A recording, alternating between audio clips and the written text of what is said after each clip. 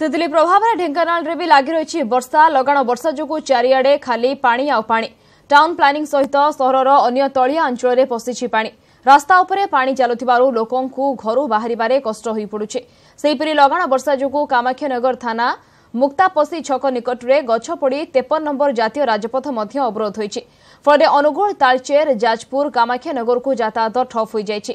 ସେହିପରି ଭାପୁର ନିକଟ ଆଉ ଖମାରରେ ଥିବା ସାଫୁଆ ବ୍ରିଜ୍ ଉପରେ ଦୁଇ ଫୁଟ ଉଚ୍ଚର ବନ୍ୟାଜଳ ପ୍ରବାହିତ ହେଉଛି ଯେଉଁଥିପାଇଁ ପୁରୁଣା କଟକ ସମ୍ବଲପୁରକୁ ଯାତାୟାତ ବାଧାପ୍ରାପ୍ତ ହୋଇଛି।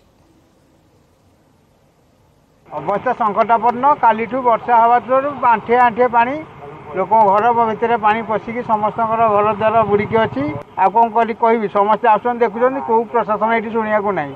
কি কমিউনিসিপালিটি সব ড্রেন সফা করিবার নাই দীর্ঘ দিনর এই অবস্থা অব্যবস্থা ভিতরে বহুত লোক হইরাণ হরকত হচ্ছেন ঘর বাহারি পারু না মানে ড্রেন্র অসনা পা যাচ্ছি দেহ পিলা ছোট ছোট পিলা দেহ বি খারাপ হচ্ছে মানে প্রশাসন ଏହା ଉପରେ କେବେ ବି ଧ୍ୟାନ ଦେଉନି କେବେ ବି ଆସନ୍ତିନି ଏଇଭଳି ମାନେ ଅବସ୍ଥା ଯେଉଁଭଳି ହେଉଛି ମାନେ ଲୋକ ବି ଘରୁ ବାହାରୁନାହାନ୍ତି ସ୍କୁଲ ପିଲାଙ୍କୁ ଯିବାକୁ ଅସୁବିଧା ହେଉଛି କୌଣସି ଏରିଆ ସମଜଡ୍ ହେଇନି ବୋଲି ଏପର୍ଯ୍ୟନ୍ତ ରିପୋର୍ଟ କୌଣସି କେଉଁଠି ହେଇଛି ବୋଲି ରିପୋର୍ଟ ଆସିନି ଯଦି ବି ଆମେ ସବୁ ପ୍ରଶାସନ ଜିଲ୍ଲା ପ୍ରଶାସନ ସମସ୍ତଙ୍କୁ ସଜାଗ କରି ରଖିଛି।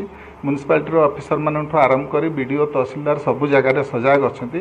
କୌଣସି ଜାଗାରେ ବି କୌଣସି ଇଭେନ୍ଚୁଆଲିଟି ହେଲେ ତାକୁ ଟ୍ୟାକଲ୍ କରିବା ପାଇଁ ସେମାନେ ସେ ଜାଗାରେ ଉପସ୍ଥିତ ରହିକି ତାକୁ ଟ୍ୟାକଲ୍ କରୁଛନ୍ତି।